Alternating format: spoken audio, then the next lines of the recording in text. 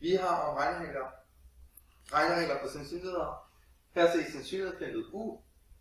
Her i sandsynlighedsfeltet har vi to hændelser, A og B. Her er A og B uafhængige af hinanden.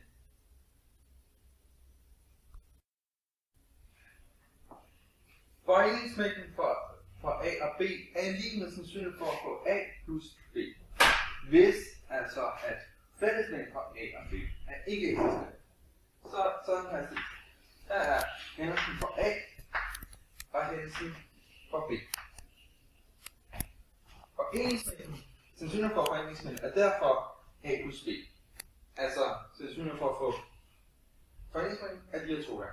Hvis altså at forældresmængden ikke er eksisterende, og det ses der, at der ikke er nogen fællesmængde. 1.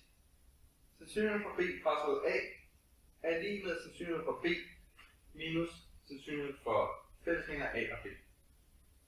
Her ses sandsynlighedsfeltet og B. Det skal være her.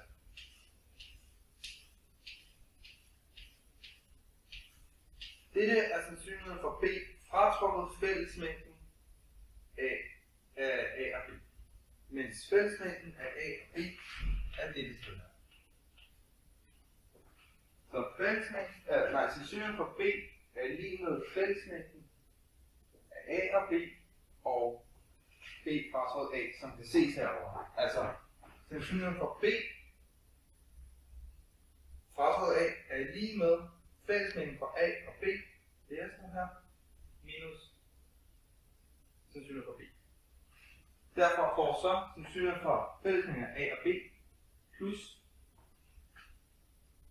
øh, sandsynligheden for B fratrukket A er lige med sandsynligheden for B. Det første er sandsynligheden for B fratrukket A er lige med sandsynligheden for B minus sandsynligheden for fællesmængden AA og B. Så kan det ses herover.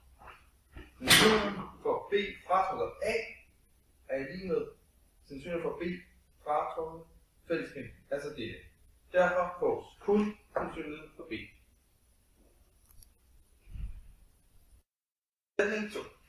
Sandsynligheden for A er mindre eller lige med sandsynligheden for B, når hvis øh, A er en delmængde af B.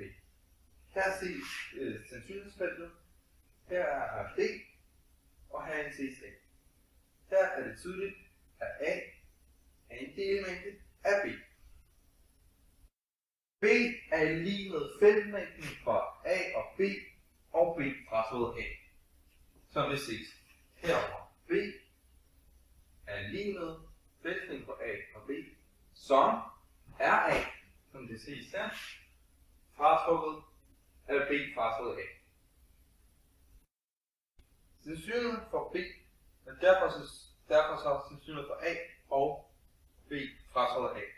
Og da sandsynligheden ikke kan være negativt, og de to er disjunkte, hvilket vil sige, at de ender med hinanden og fælles gøre, er så, at sandsynligheden for B er lige med sandsynligheden for A plus sandsynligheden for B fratrukket A, som det ses herovre.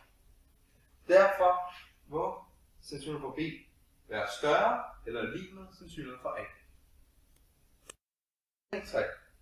Sandsynligheden for komplementærmængden af A er lige med 1 minus sandsynligheden for A.